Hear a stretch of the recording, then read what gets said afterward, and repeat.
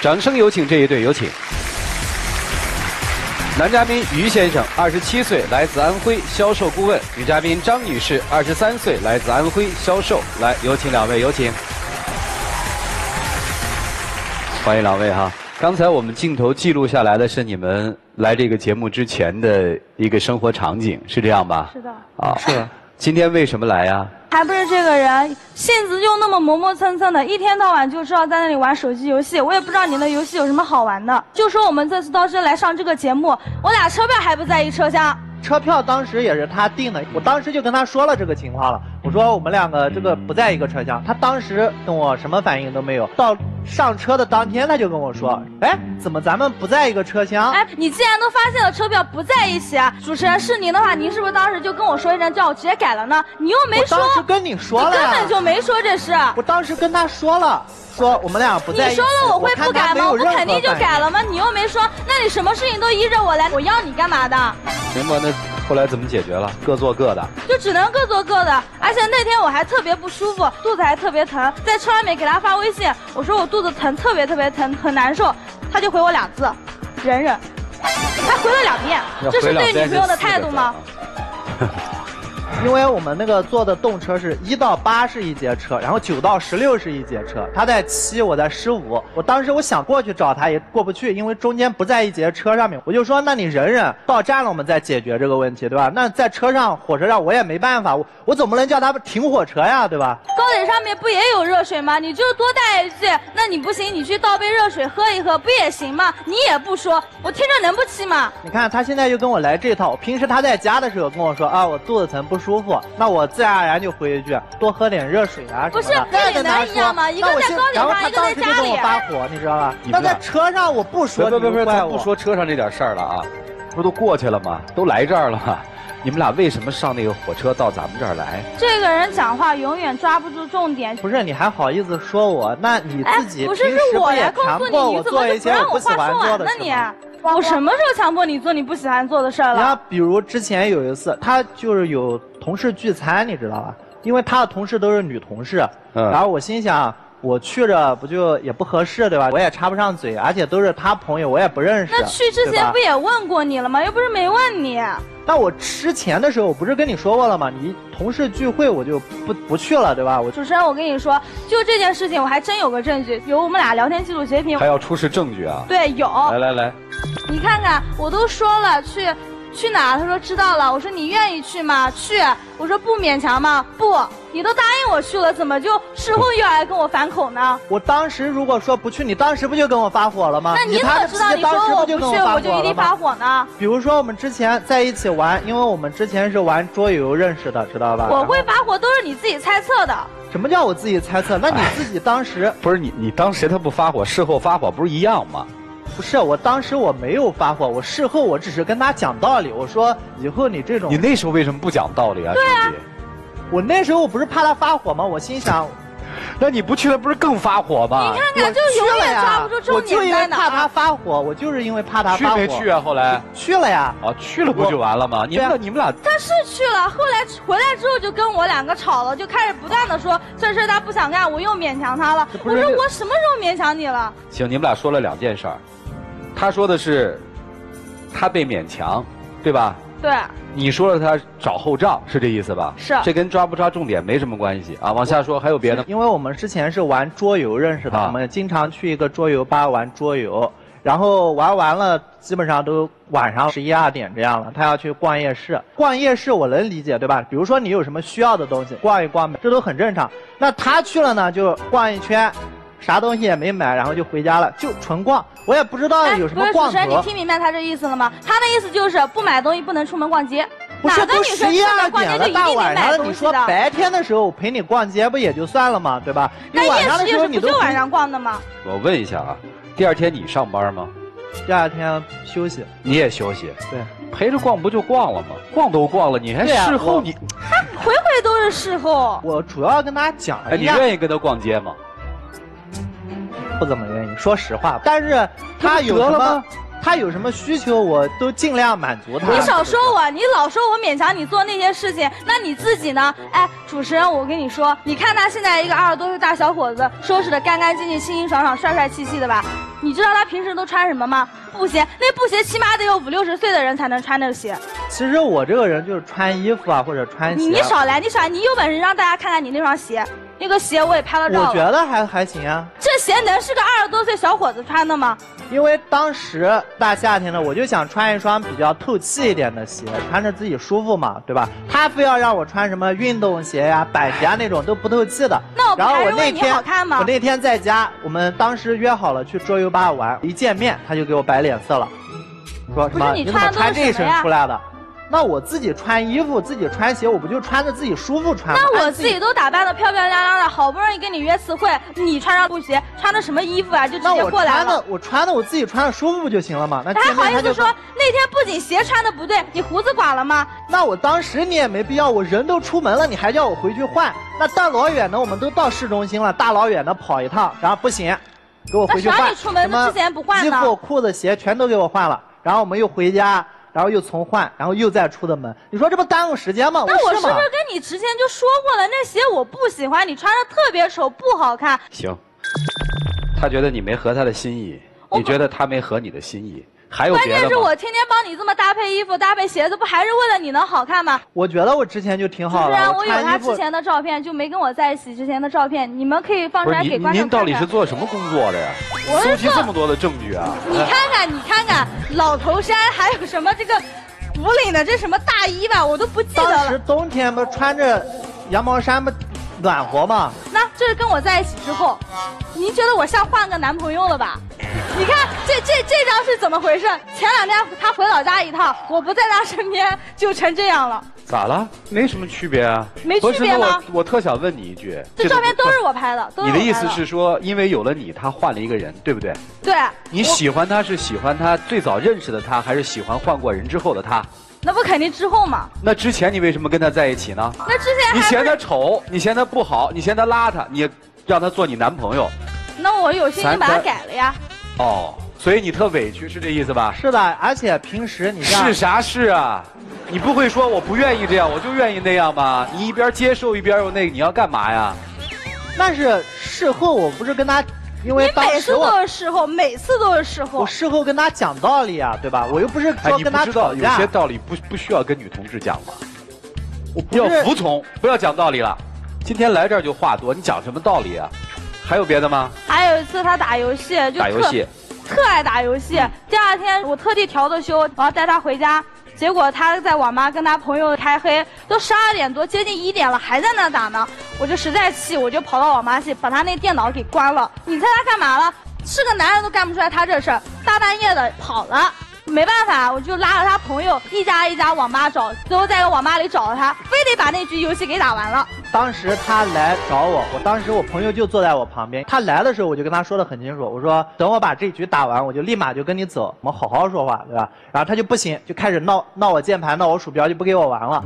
我说你你能不能等我这局玩完？我这局玩完我就跟你走，也不耽误明天的事。我也不耽误明天的事，对吧？然后他就不行，直接啪把我电脑关了。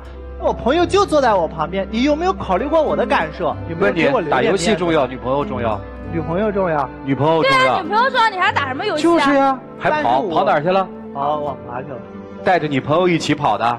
没有，我一个人走的。我当时不是没面子吗？你不带朋友走，你自己走不更没面子吗？当时我觉得他没有给我留余地，一点面子都没留给我，知道吧？我我接着问啊，你们俩别说了，你们俩这事儿我已经听不下去了。他平常对你好吗，姑娘？也有他对我好的时候，但是基本上我俩现在就属于三天一小吵，五天一大吵。啊。你们俩谈恋爱多久了？一年多了。你烦他吗？有时候很烦。什么时候你烦他？就是我之前说的，因为我跟他说的很清楚。你不希望他管你？有一点点，希望他能尊重你，是这意思吧？对。你希望他要听你的，是吧？就你起码要接纳我的想法，你要觉得我这个想法不对，你当时就要跟我说，你不要事后跟我找秋账。那你这次来希望怎么样呢？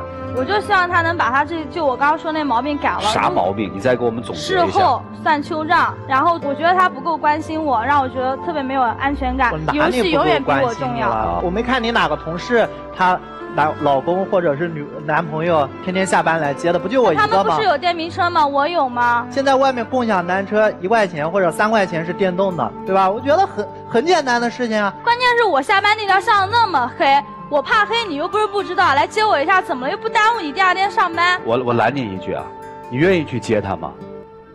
愿意啊。我问您啊，他天天这么接你，你心里一点感动都没有吗？是感动的，但关键是你每次来接我的时候就摆脸色给我看。我什么时候摆脸色给你看了？老是说，哎，那我那次送你上班，你还摆脸色给我看？我两点多钟，他下下午上班两点多钟，你还好意思说这事？我去送他上班，我送他到店里之后，他不给我走，就一直叫我在店里一直陪着他，我就在那干坐着，一直坐到九十点钟他下班，然后我们为什么你自己心里没点数吗？为啥呀？还不是因为他前一天的时候跟朋友回了趟老家，都不跟我说一声，都不打声招呼。人在车上时候说，我怎么没跟你打招呼？我回六安了。那你做决定之前不会先问问我吗？我不是跟你说了吗？那你都人已经在车上了，好不好？你人都在车上了，你再跟我说有什么用呢？那你意思就是不给我走了？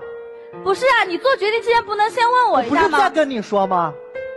你都走了，你跟我说有什么用呢？当时人在车上，我刚看看主持人的就是永远都这样。你你你们俩真会抬杠啊！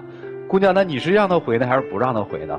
我是让他，我是可以让他回，不就完了吗？你开开心心说一句啊，路上注意安全，不就得了吗？但是我气的是他这个态度。你要回去，你做这个决定之前，你能不能先问问我？你觉得他不尊重你是吗？对，我也打电话跟他说。哎，你们俩在一起累吗？我觉得有点累，但是他基本上说什么，我都按照他说的去做了。你们俩都怕彼此管着对方哈，或者都觉得对方管着自己，分开不就都自由了吗？干嘛非要这样呢？觉得毕竟已经在一起一年多了嘛，能走下去是最好。不会凑合，就能走下去是最好的。毕竟我这人他是我初恋。哦，你今天为什么陪他来啊？今天他就又要吵又要闹的，那我我也没办法，基本上就是他说怎么样我就怎么样。你也觉得心里苦是不是？对，你的苦是觉得他管你太多太细了，是这意思吧？对，啊，你的苦是觉得这个男生有的时候不尊重你。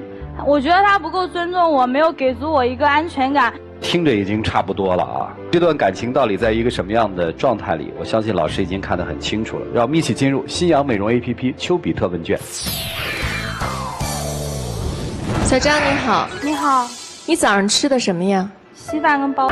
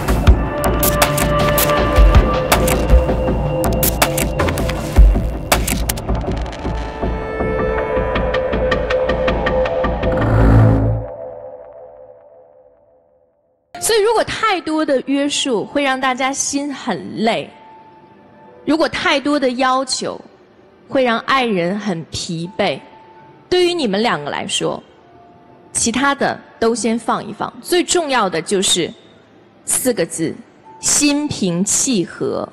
祝你们幸福。好，谢谢左岩老师。谢谢老师。其实女孩你不太懂男孩，男孩也不太懂女孩。你要知道，女孩她去逛夜市，她去逛街，她不是为了买，她是为了逛。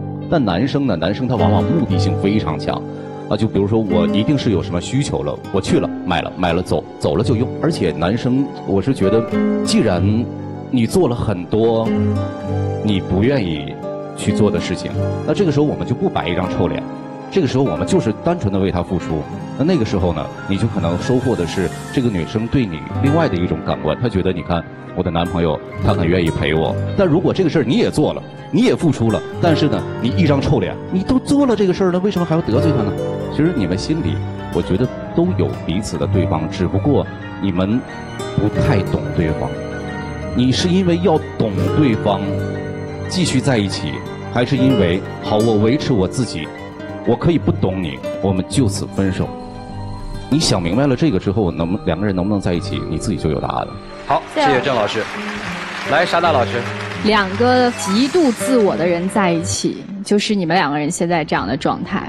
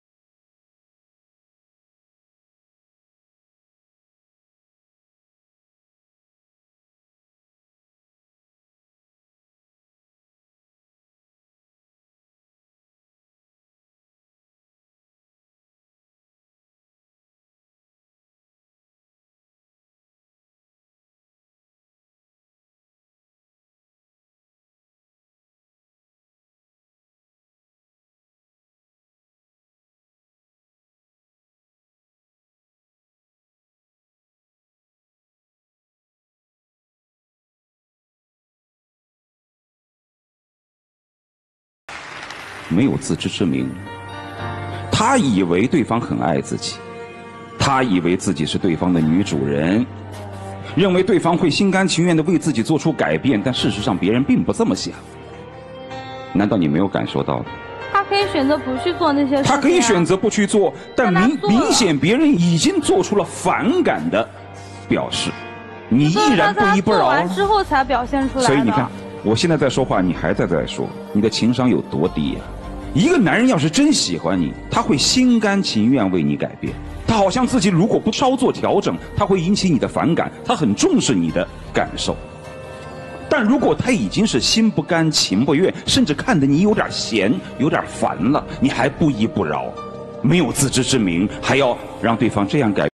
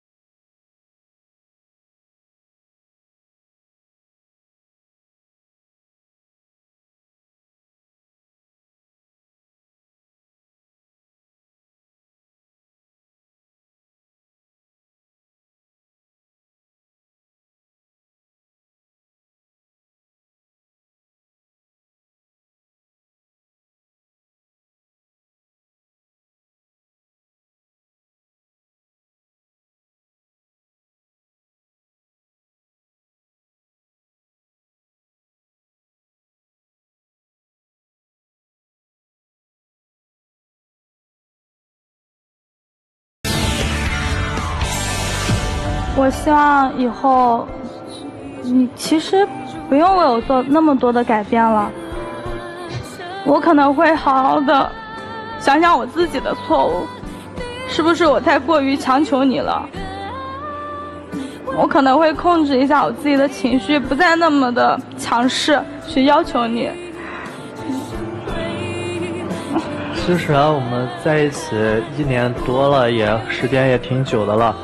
你平时跟我说的那些事，我觉得就是男女谈恋爱的时候，就是男方确实应该迁就一下女方。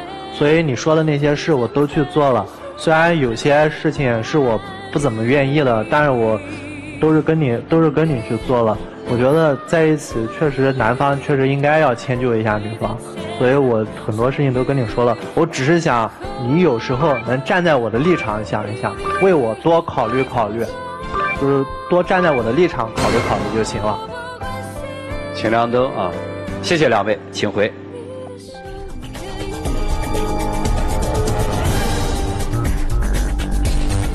来，请关门！欢迎大家登录优酷网、腾讯视频、搜狐视频、爱奇艺、乐视视频、PPTV 聚力收看节目的完整视频。来吧，我们看看他们自己的选择，请开门。